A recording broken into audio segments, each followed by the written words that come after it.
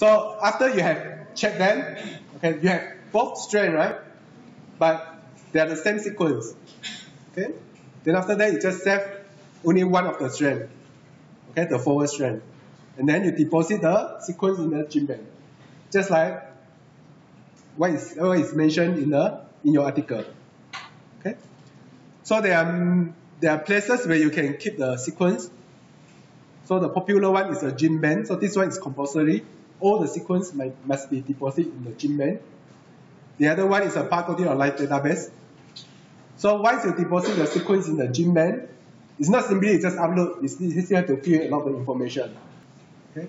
And once you upload into GenBank, then they will assign a unique reference number, okay, what, what they call the GenBank accession number to each of the sequence. So this number is unique. Okay? For example, AC12345, Okay? Every sequence is have a unique number. For barcoding online database, the sequence in the barcoding online database, you need to deposit in the GenBank and get the number first. Okay? Then after that, you can upload the same sequence to the barcoding online database with the reference number. Okay? So the difference between GenBank and barcoding of life database is, in GenBank, they only have the information about the sequence, which gene that you sequence, how long, what is the nucleotide, what is the taxa, and for which paper, that's all. They do not, and also the species information, but they do not keep the information for the specimen. Okay? Whereas in barcoding of life database, they keep the sequence, the chromatogram, and also the specimen picture, where you collect the specimen, who collect the specimen, the map, okay, the taxonomy information, all the information. Okay. So for GenBank, so it's a sequence database, it's open access. That means that you don't need to have an account. You can just go to check. Okay, all the sequences are available for you to download. So this figure is not updated. I think now it's hundred of million sequence in the GenBank. Okay. So the data is from the user, it's from you. Okay. For example, now you have a PCR product. If you get the sequence, you can upload the GenBank. Even though without the publication, still can upload you get the number. Okay. So the management for the GenBank actually is from US. It's a National Center for Biotechnology Information, NCBI, okay, in US. So it's a government agency, but they provide the service to the to everyone. So it's a repository for all the sequence data. The sequence data, not the chromatogram, only the sequence data of scientific articles. And there are, so you can deposit the sequence, or there are, there are also some functions, some tools available in the website which you can use. But the main, main purpose is serve, serve as a repository.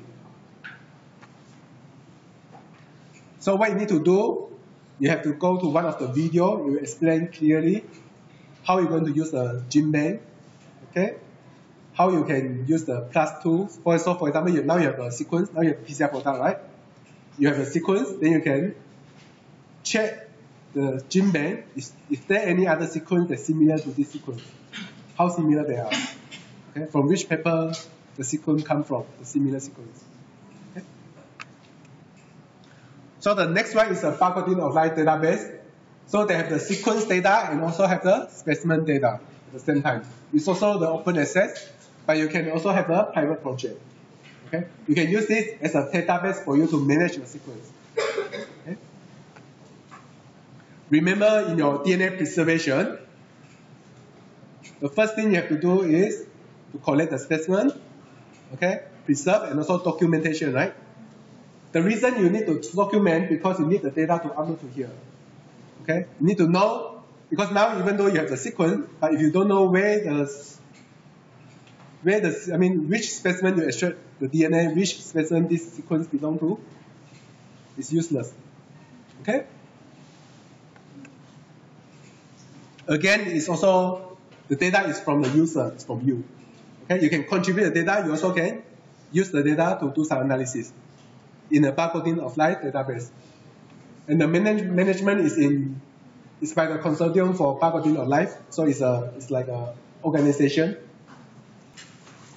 So for this one, there's also a, a video to show you some of the functionality of the barcoding alive database. Okay? So there are some tools they only not only serve as a database, but also can be used to do some symbol phylogenetic analysis and also barcoding analysis. Okay? So we're going to discuss more about the barcoding analysis in the in the last few lectures okay, of this course. But I also post two videos, different video that explain briefly what is it, what, what, what is the bar, DNA barcoding. Okay. So in the barcoding life database, you have the picture, you have the, all the information. They also keep the information which primer they use. Okay, everything is there, and also the sequence.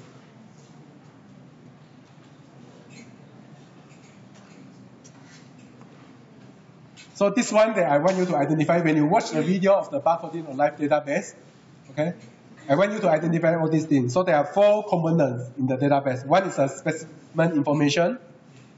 Another one is a laboratory analysis. That means that they also keep the protocol for the PCR, the primer that you use. Okay. They also have a barcode of life data system. So that means that it's not only keep a database, but you can use it as a database for you to check. So now you have a sequence of an organism. The ATCG is like a barcode. But you need a database, right? So now imagine if you get something from the supermarket, everything have a barcode, correct? Okay. If I give you the scanner to plug in your computer, if you scan, can you get anything? Nothing, right? Because you need to have a database. Okay, if you scan the code, the code have a number, then the number, the, com the computer, the system will use the number to find what does it mean for this number, which product. Okay, similarly. So the barcoding alive database concept is that they try to use the sequence as a barcode. So that means that once you sequence an organism, get the CO1 gene, usually people use CO1 gene, you get the sequence, you copy the sequence ATCG, search in the database, then you should find a similar one. Okay? Which specimen? Who sequenced it? Okay, what's the species? And show you how similar they are. Okay? So you can try to use this. Without the account, you can use this. So if you want to try, you have the article, you have the GenBank number, right? In your assignment, there's a video show you how you can, based on the number, get the sequence. Okay? You can get once you get the sequence, you copy the sequence, go to the barcoding alive database, paste and search. If you can find a similar one. Okay? And you also can do some basic data analysis. Okay?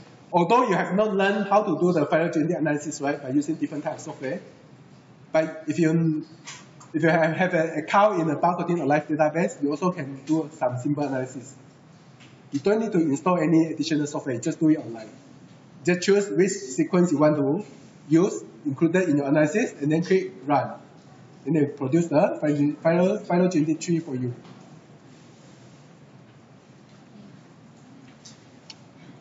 So this is all about the processing DNA sequence